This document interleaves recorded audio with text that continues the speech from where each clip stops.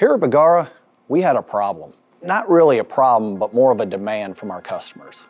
They wanted the same accuracy Bergara is known for, but they wanted to get rid of some of the weight.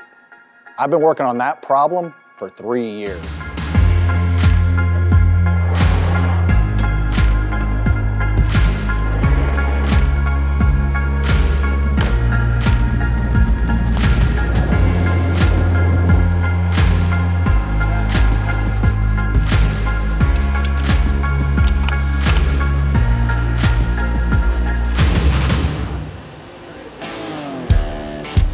Before I came to Bergara, I served for 22 years in the Marine Corps.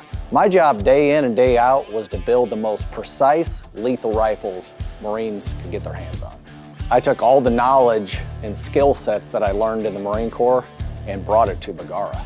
When we wanted to start exploring carbon fiber technologies, we reached out to the industry's best, Todd Barreto.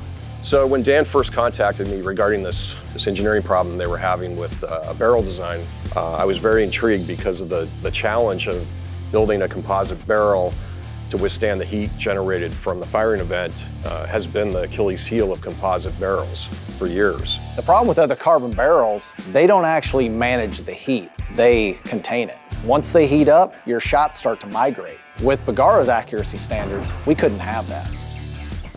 When we set out to make a carbon fiber barrel, we didn't just want to be a Me Too company. We wanted to do it different.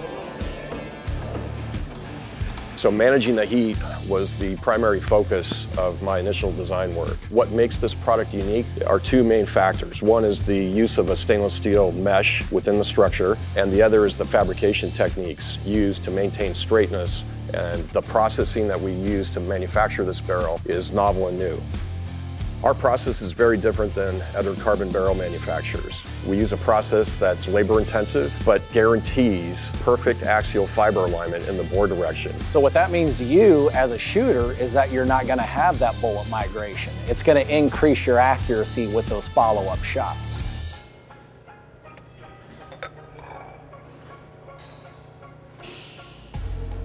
With respect to the materials that are in this barrel design, we intentionally chose a ultra-high modulus carbon fiber, which is basically a stiffer carbon fiber. And with respect to the stainless steel, it's very thin. It's down to about two and a half mils in thickness and was engineered and designed specifically for this barrel. You know, we didn't take any shortcuts with materials. We could have gone with cheaper carbon fibers, uh, a different type of mesh, but we didn't want to. We wanted to use the best materials that are available today. Literally the same materials that's used by the aerospace industry.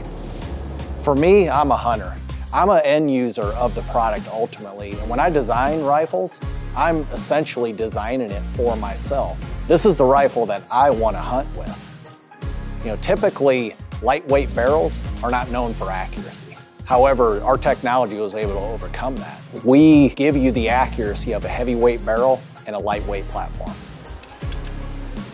For me personally, this carbon barrel design with Bergara is probably the peak of my career. It's uh, very exciting, it was a very challenging design, and it's just the beginning.